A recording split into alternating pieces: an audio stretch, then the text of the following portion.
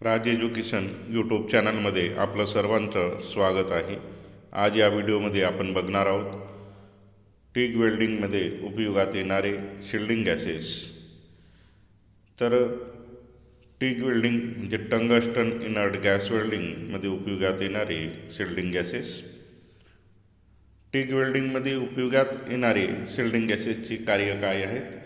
तर आर्कमध्ये उष्णताचे विभाजन करणे आर्क स्थिर ठेवणे आर्कला आकार देणे वेल्डिंग बिट्सला आकार देणे पोरॅसिटीचे नियंत्रण करणे आणि वेल्डिंग मेटलचे यांत्रिक गुणधर्म वाढविणे हे टीग वेल्डिंगमध्ये उपयोगात येणाऱ्या शिल्डिंग गॅसेसची कार्य आहेत.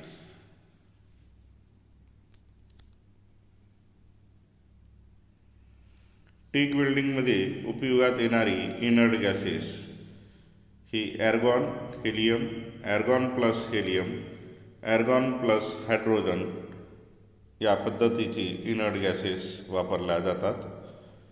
ॲर्गॉन वायूचे गुणधर्म ॲर्गॉन वायू हा निष्क्रिय हवेपेक्षा जड आहे याची इलेक्ट्रिकल कंडक्टिव्हिटी जास्त आहे त्यामुळे ॲर्गॉन वायूचे सहजरित्या आयोनायझेशन होते.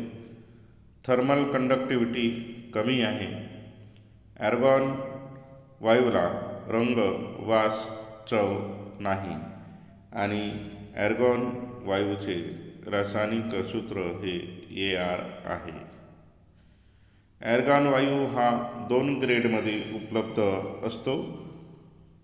एक वेल्डिंग ग्रेड आणि दुसरा आहे इनकंडेन्स ग्रेड यालाच लॅम्प ग्रेड असे सुद्धा म्हणतात.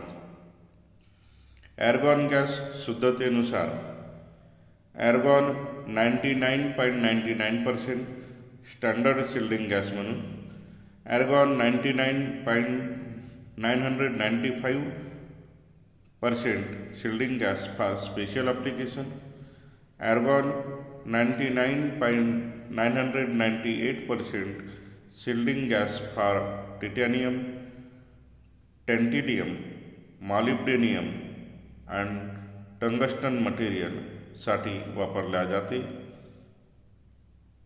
तर ninety nine point ninety nine percent standard shielding gas म्हणून वापरल्या जाते.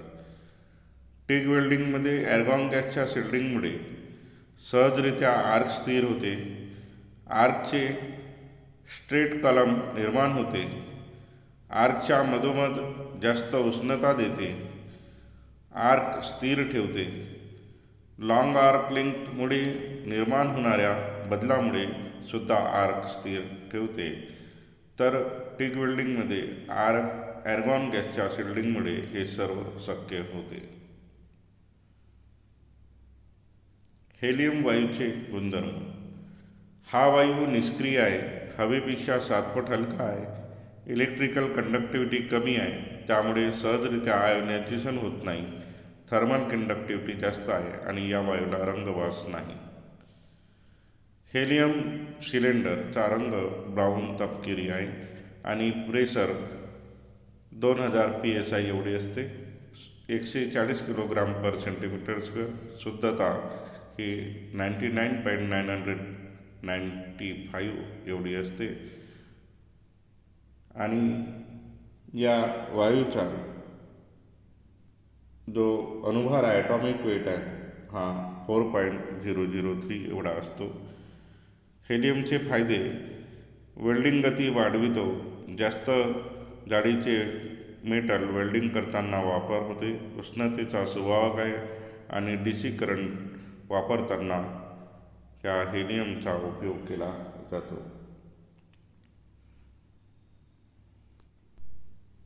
टीक वेल्डिंगमध्ये काही विशिष्ट मटेरियलचे वेल्डिंग करण्याकरता ॲर्गॉन आणि हेलियम हे मिक्स गॅसेस वापरले जातात. त्यामध्ये पंधरा ते पंच्याहत्तर टक्के मिश्रण उपयोगात आणले जाते आणि त्यामुळे खालील गुणधर्म असलेले वेल्डिंग निर्माण होते. त्यामुळे वेल्डिंग बेड अरुंद होणे हीट ट्रान्सफर चांगली असल्याने वेल्डिंगची गती वाढविणे शक्य होते. पोरॅसिटी कमी प्रमाणात येते आणि हॉट क्रॅकिंग येत नाही. ॲर्गॉन प्लस हेलियम हे तीस टक्के ॲर्गॉन आणि सत्तर टक्के हेलियम असलेले मिश्रण आता सर्वत्रपणे ॲल्युमिनियम आणि कॉपर अलायच्या वेल्डिंगसाठी वापरला जाते. ॲर्गॉन प्लस हायड्रोजन ॲर्गॉन आणि दोन ते दहा टक्के हायड्रोजन असलेले मिश्रण साधारणतः निकेल आणि त्याचे अलाय वेल्डिंग करण्यासाठी तसेच हाय अलाय स्टीलसाठी उपयोगात आणतात.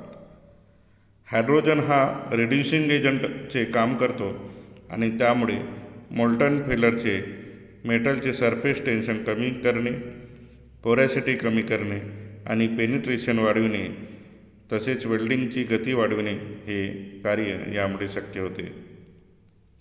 हॅरगॉन गॅससोबत सात अटक्केच्यावर जर हायड्रोजन गॅस मिश्रण केले असता हे मिश्रण स्फोटक या प्रकारात येते.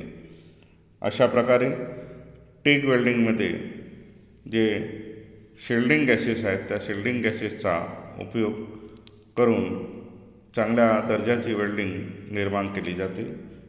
हा व्हिडिओ जर आपल्याला आवडल्यास फायद्याचा वाटल्यास या व्हिडिओला आपल्या गरजू मित्रामध्ये शेअर करा. या व्हिडिओला लाईक करा. आणि राज एज्युकेशन चॅनलला सबस्क्राईब केलं नसेल तर सर्वप्रथम सबस्क्राईब करा. धन्यवाद.